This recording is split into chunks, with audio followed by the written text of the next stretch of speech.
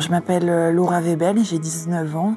Et avant cet accident, je sortais d'un bac euh, général scientifique. Et j'étais inscrite pour la faculté de médecine euh, parce que moi depuis que je suis petite, je voulais faire dentiste, je voulais travailler dans le dans le métier dentaire.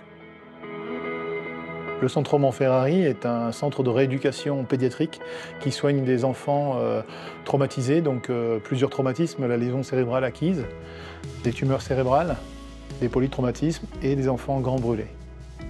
La première chose euh, à faire, c'est d'accueillir le patient euh, le plus tôt possible euh, sur le plan médical pour éviter que les complications cicatricielles ne soient déjà en train de se mettre en place. Les complications principales, c'est les rétractions des cicatrices et les hypertrophies, c'est-à-dire les prises de volume et le développement de cicatrices fibreuses et épaisses. Au départ, on faisait tous les masques à partir de moulages plâtrés. Donc les orthoprothésistes réalisaient euh, un négatif avec des bandes plâtrées à partir duquel ils fabriquaient un positif et sur ce positif, ils fabriquaient le masque.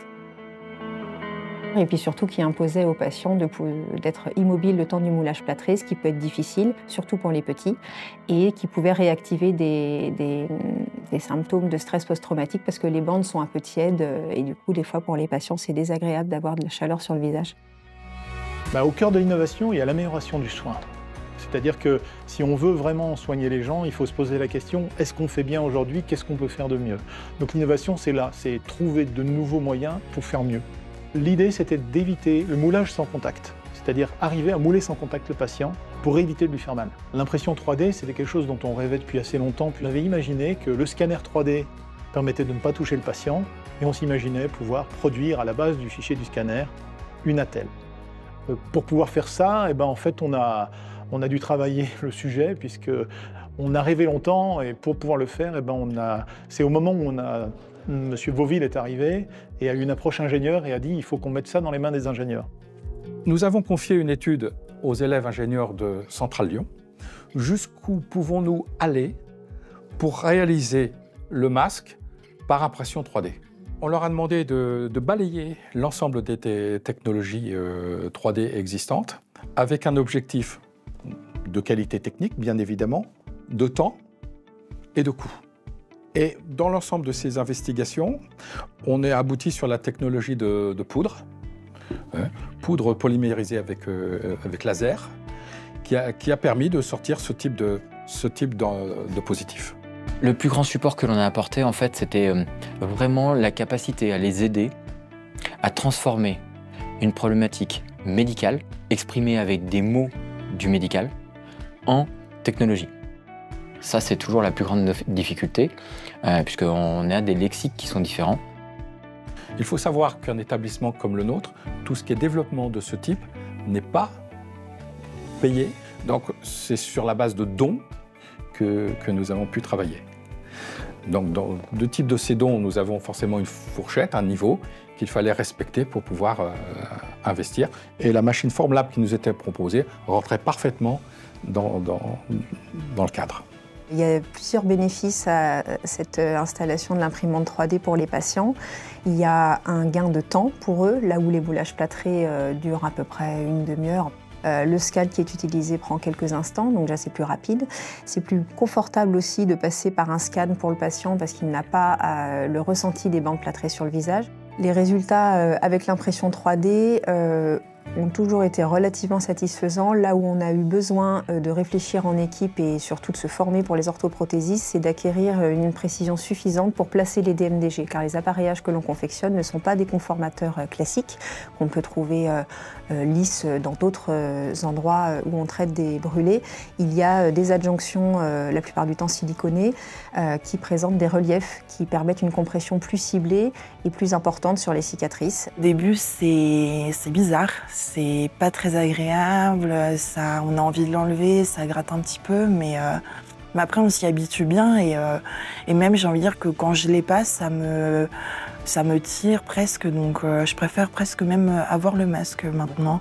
Je sens que ça a en tout cas des effets sur ma peau et je vois vraiment la différence parce qu'il y a un an, ma peau était pas du tout comme ça, j'étais beaucoup plus rouge, plus gonflée, donc oui, le masque, euh, je sens qu'il y a des effets. Mais ça fait donc plus d'un an que je porte ça euh, tous les jours.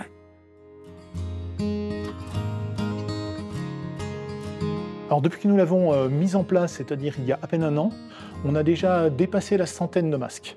On arrive à fabriquer des, des, attelles qu'on n'arrivait pas à fabriquer euh, avec des moyens plus artisanaux. La maîtrise de, l'outil et du processus fait que nos appareilleurs euh, euh, fabriquent maintenant d'autres attelles dès que c'est compliqué en fait. Une petite main par exemple. Donc le grand challenge, c'est bah, faire connaître cette solution. L'établissement prend déjà en charge à peu près 25% des enfants grands brûlés en France.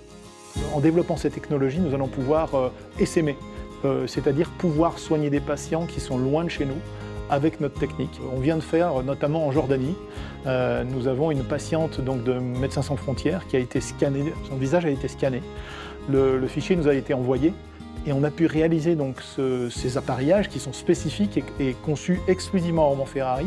On a pu les fabriquer sur mesure et envoyer le masque euh, auprès de cette patiente. Alors, fort de cette expérience, notre objectif, c'est que l'ensemble des patients puissent bénéficier de ces techniques-là, puisqu'en fait, les techniques et les appareils qu'on fabrique sont exclusifs et beaucoup plus efficaces que ceux qu'on peut connaître par ailleurs. Je suis très contente d'être ici, c'est assez familial. Tout le monde se connaît, euh, on réapprend un peu à, sortir parce que c'est vrai que les grands brûlés, on a quand même un appareillage, donc notamment avec le masque, les compressifs, c'est compliqué de, sortir euh, sans, euh, enfin avec le regard des autres. Donc c'est vrai qu'on apprend euh, aussi à réapprendre, oui, à sortir, retrouver une vie un peu plus normale. Ouais. Moi j'aimerais bien que les grands brûlés soient un petit peu plus connus et que dans la rue on nous regarde pas bizarrement en nous demandant mais qu'est-ce qu'elle a, pourquoi elle porte un masque? C'est vrai que moi j'aimerais bien que ce soit un peu plus médiatisé, plus connu ouais, du, grand public en fait. Bah, en soi, je continue quand même l'école ici. Euh, des matières scientifiques pour pas trop perdre aussi le niveau. En septembre prochain, normalement, je reprendrai mes études. Ouais. Ma place est toujours réservée en médecine. Euh, je vais bientôt sortir, euh, donc ça m'aurait quand même fait un séjour de 14 mois ici, donc c'est vrai que c'était compliqué, mais, mais c'est un très bon centre où j'ai été très bien soignée avec du personnel très présent, avec qui j'ai lié des, des, liens et même des patients aussi avec qui je m'entends très bien et je sais que ce sera des, des amis euh, pour la vie.